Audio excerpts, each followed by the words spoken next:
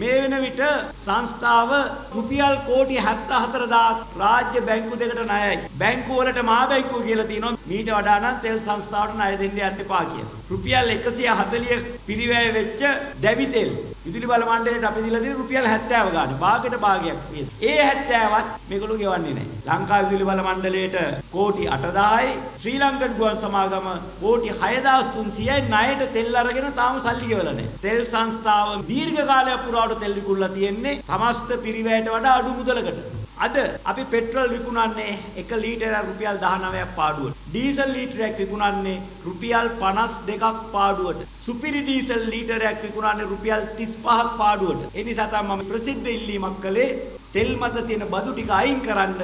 එතකොට අපිට මිල වැඩි කිරීම වෙනුවට ජනතාවට තෙල් සංස්ථාවට ඒ ක්‍රමයට සල්ලි හොයාගත්තොත් ජනතාව මත බර පටවන එක නතර කරන්න පුළුවන් කියලා.